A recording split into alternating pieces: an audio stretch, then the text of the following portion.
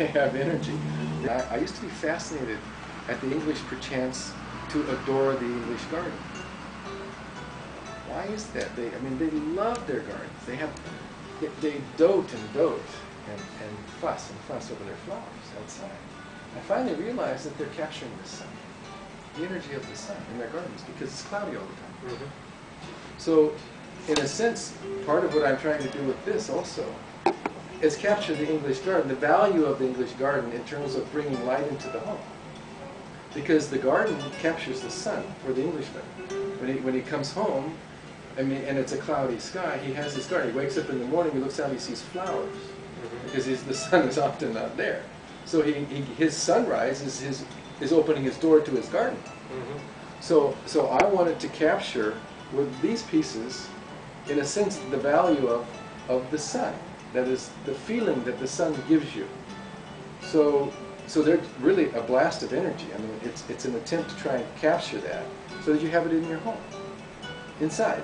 You can put it in a dining room, a kitchen, I mean, numbers of rooms where it lights the room. It, it, it adds a bit of sun. You don't even have to turn on a light for it to do that. And so, so the, the colors, the composition, the structure is all based on, in a sense, sunlight. It's, a- it's, a, it's a work of light rather than painting in a way. And so the rooster was the best subject. I tried eagles, I tried uh, uh, peacocks, I tried other animals like bears, and uh, uh, I did horses. Uh, I can't think immediately of all, but I tried quite a few different animals and birds before I settled on the rooster. Because the rooster also has an attitude. I mean, a sense of, I mean, he's, he, I mean, a rooster will face down a lion, and he has no fear. And one of the things that predominates in, in the human species is that we always have fear of the unknown, of not being good enough, or not being strong enough, or wise enough. There's a lingering fear in us in many categories. This rooster doesn't have it. He's, he's willing to fight. Yeah, he doesn't have it. And so I thought as, as an encouragement also to us, more fearless. This subject was a good subject because the rooster is not. He has no fear.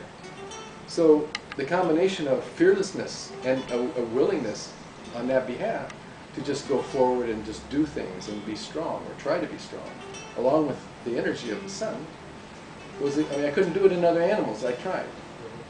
The, the eagle and the, uh, and the hawk, these kinds of birds were, they're too stoic, they're too hard. And then the peacock was a little bit too light. The rooster with the color and also this, this great sense of, of ability to dominate or see itself through something was a really good combination for sun, for the sunlight. Because what does the sun do, really? And it just pushes through. I mean, it's the whole, the whole solar system and how far beyond is illuminated by the presence of the sun.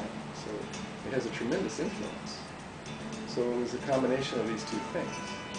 So even though it looks really simple, actually the, the mental structure behind it is fairly complex. At the same time, it is also really simple.